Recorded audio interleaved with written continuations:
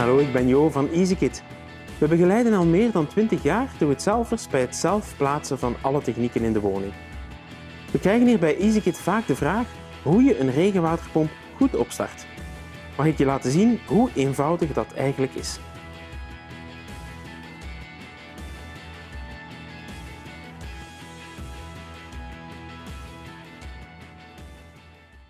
Het verhaal begint in de regenwaterput, waar een drijvende voetklep bevestigd wordt aan een spiraalversterkte aanzuigleiding. Deze wordt rechtstreeks aan de pomp gekoppeld en is liefst niet langer dan 20 meter. Voorzie een stopcontact bij de pomp. De filter wordt altijd op de steekleiding van de pomp voorzien, nooit op de aanzuigleiding. De presscontrole regelt de druk van de pomp. Plaats de filter in de juiste richting en sluit aan op de collector. Deze verdeelt het regenwater over het ganse huis. Voorzie eerst de grove draadfilter en dan de fijne koolstoffilter. Vervang de filters tijdig. Vergeet niet de verpakking te verwijderen.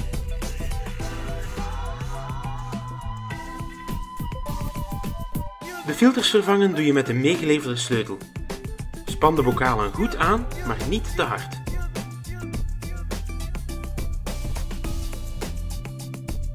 Op de duplexfilter staan twee ontluchters, vooraan en achteraan. Wij zetten deze dicht voor het opstarten.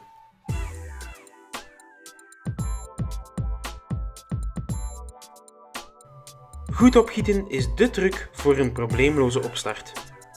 Open de stop naar de aanzuigleiding en de stop op het pomphuis.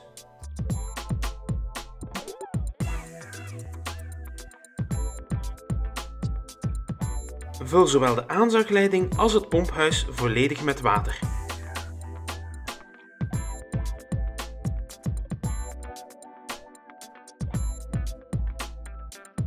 Ga na of het water blijft staan in de leiding. Zo niet controleer je alle verbindingen in de put van de voetklep met de aanzuigleiding.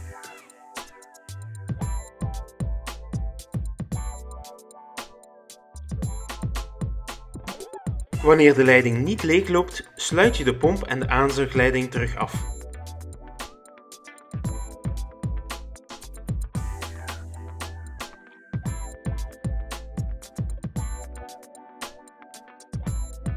Om op te starten openen we alle kranen.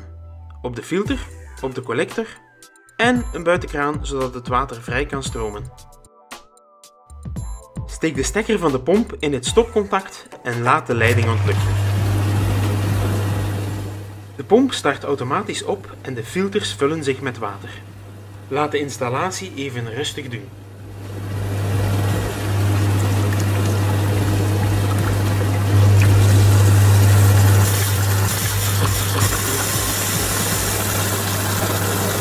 Wanneer alle lucht uit de leidingen is, sluit je de buitenkraan.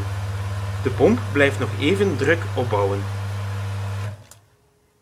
Wat kan er fout gaan? Bij grote installaties of wanneer de pomp niet volledig werd opgegoten, kan de droogloopbeveiliging de pomp uitschakelen.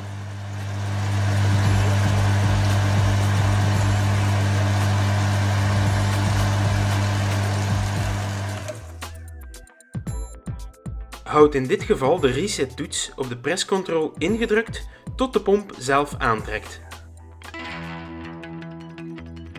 Lijkt dit iets voor jou? Surf dan eens naar onze website www.easykit.be en overtuig jezelf van ons uniek concept. In onze toonzaal helpen we je gratis verder met je plannen. Tot gauw!